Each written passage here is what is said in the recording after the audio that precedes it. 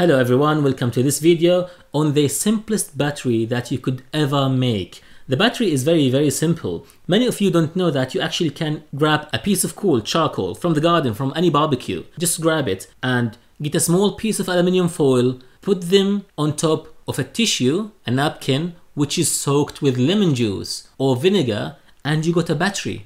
A battery is as simple as that, a piece of charcoal, which is carbon, and an aluminium sheet and basically between them some electrolyte. Electrolyte is the liquid that will kind of hold the charge and do the chemical reaction. And here is a tissue napkin with some lemon juice. And you could see actually it's generating some voltage around half volt just with these simple components. Now, to make a proper battery, something more advanced, using very much the same components, what you need to do is grab a good piece of charcoal when I say good one, people usually in videos they say activated carbon. Well, I'll tell you something very simple. Grab your multimeter and test different pieces of charcoal and see the one that gives you the least amount of resistance, the one that's most conductive basically, grab that. That's a good piece. And make sure obviously you have the same distance, have the same distance between the probes so your measurements are consistent. So the point is the piece of charcoal that has the lowest resistance is the one that you should use. All what you have to do now is to crush it. Crush it and form a paste. To make the paste, what you need is some sort of glue. A very popular type of glue is PVA. PVA is the polyvinyl alcohol. It's basically the white glue that you use to um, stick papers together. So it's a very popular type. You buy it from any stationery, use that.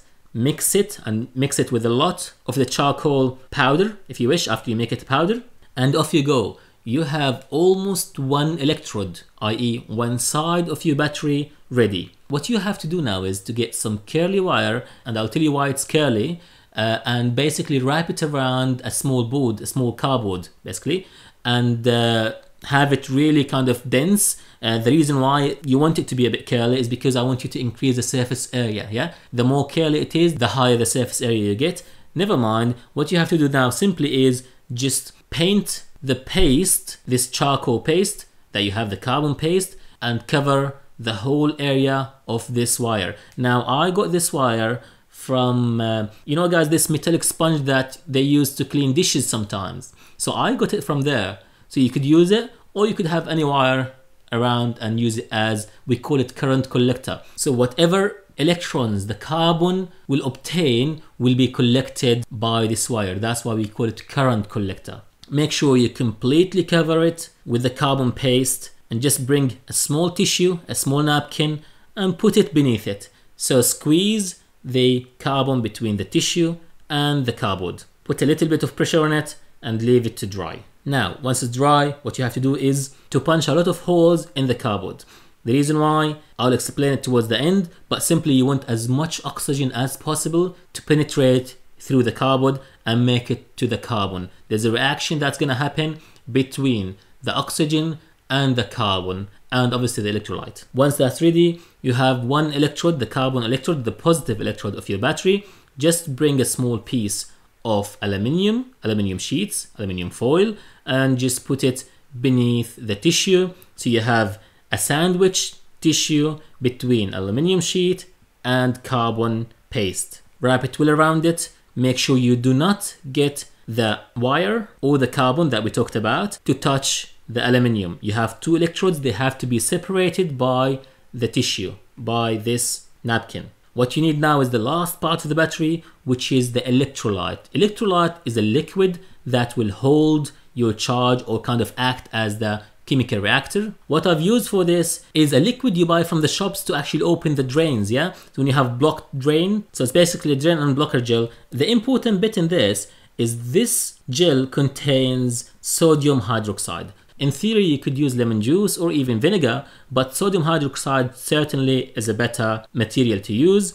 Therefore, just get some of that, some of this drain and blocker, and mix it with some water and this is where the chemical reaction is going to happen between the water and the sodium hydroxide as well as the carbon and the aluminium. I'm not a chemist. I've got this formula from a video. I'll put it for you down in the description. So feel free to uh, ask if you need about it. But it's a known method to make aluminium air, aluminium air battery. So that's why we made these holes. So what happens is that the oxygen through these holes that we made in the carbon electrode, they will react with the other elements in this battery. Simply pour some of this electrolyte, the mix of water and this gel, pour it on the tissue that is separating the aluminium and the carbon, and that's it, you've got a battery. Just go and test the voltage between the aluminium on the negative side and the wire, the little wire that's touching the carbon, and you're gonna get about one and a half volts. That is a really good voltage between the two. So from that one and a half volts that we've got,